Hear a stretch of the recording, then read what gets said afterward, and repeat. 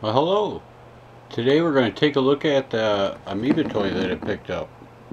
It's the Bywayman. Really enjoy this one. This is from 1979. Four-wheel drive.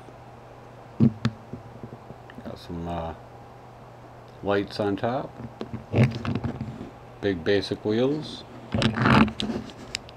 metal base, made in Hong Kong. Love that big eagle on the side, all the little stars, stripes going down it.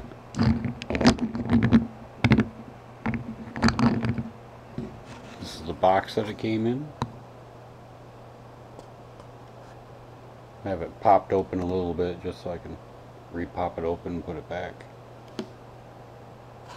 This one has same art on three sides and copyright date made in Hong Kong.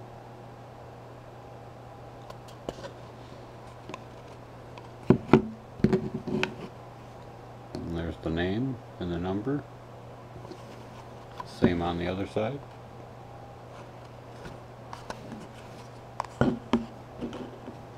And it does have that uh, unique matte finish on it. It's not really a shiny blue, it's more of a matte blue. Oh, you know, I should have had another one to compare it to.